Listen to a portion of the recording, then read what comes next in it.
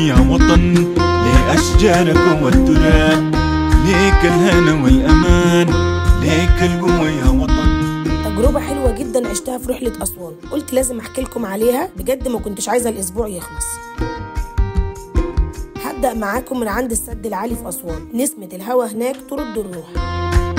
بعد كده رحت معبد فيلة في وسط النيل. آثار تحفة والرحلة في المية نفسها تستاهل الزيارة والله تاني يوم رحت جزيرة النباتات وهناك اتفاجئت إن كل شجرة ليها اسم وتاريخ وأصلها وفصلها مكتوب عليها. وكان في سوق هناك مليان إكسسوارات ولقيت هناك المخمريات الأسواني المشهورة اللي ريحتها حلوة ومفحفحة دي.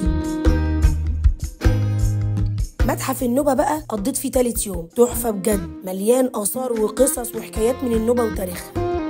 دي بقى غرب سهيل. رحناها بالمركب. هي صحيح أغلى فسحة بس والله تستاهل. بيوت نوبية روعة وجمال وتماسيح حية ولبس نوبي وشغل جلود حاجة كده تهبل. شايفيني وأنا برسم حنة؟ ودخلنا قرية كنداكا جميلة جميلة. وفي الآخر بقى قعدت في مركب ذهبية بتاعت مسلسل دايما عامر أكيد أنتوا عارفينها. وطول الرحلة بقى اتصورت مع كتير من حبايبي اللي طلعوا عارفيني من بلاد كتير. بعد الرحلة دي إن شاء الله أسوان أساسي كل سنة. رحلة ما تتنسيش. جربوها.